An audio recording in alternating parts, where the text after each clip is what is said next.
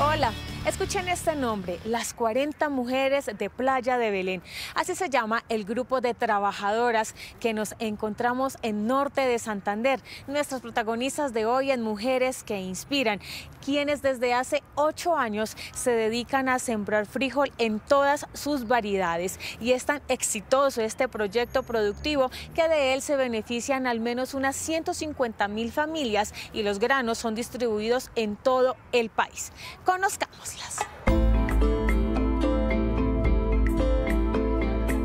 Así como crecen las plantas de frijol en este extenso cultivo, progresa el grupo de mujeres encargadas de labrar la tierra, que aunque árida en algunas zonas, con dedicación y esfuerzo lograron convertirla en un campo fértil.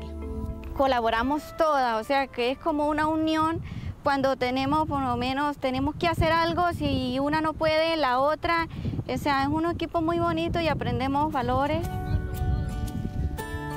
Son desplazadas por la violencia, algunas madres cabeza de hogar, pero todas con un solo objetivo, ser productivas para sus familias y la región. Por eso, desde hace ocho años, 40 mujeres se dedicaron a cultivar varias especies de frijol en Playa de Belén, norte de Santander. Y somos unas mujeres echadas para adelante, este, trabajamos el proyecto de, frijol, lo que es nuestra tierra.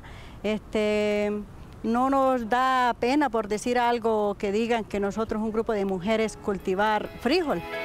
Siembran, cosechan, procesan y distribuyen los granos, un ejemplo de unión y perseverancia, por lo que además son conocidas como las mujeres guerreras del Catatumbo que mantienen vivo este proyecto.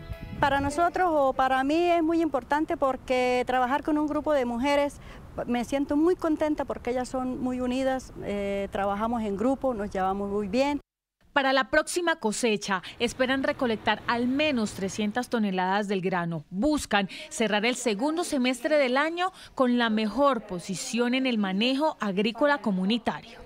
También ahorita nos estamos capacitando, eh, por lo menos en procesamiento de frutas, eh, con la Fundación Catatumbo, también nos enseñan cómo ir emprendiendo o cómo ir organizándonos más para nosotros ha sido muy importante porque tenemos una comunicación bastante bonita y, para nosotros es muy importante tener un grupo de mujeres que todas estamos participando en esta asociación. Es así como este grupo de cultivadoras de frijol se destaca en una región donde las oportunidades son pocas para quienes deben vivir en medio del conflicto armado.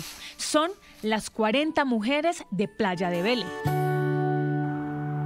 porque los que siembran buenas semillas cosechan grandes triunfos, como nuestras mujeres que inspiran nuestras protagonistas en el día de hoy. Esta historia la pueden volver a ver en nuestra página de noticiasrcn.com y los invitamos para que nos compartan más relatos como estos a través de nuestras redes sociales.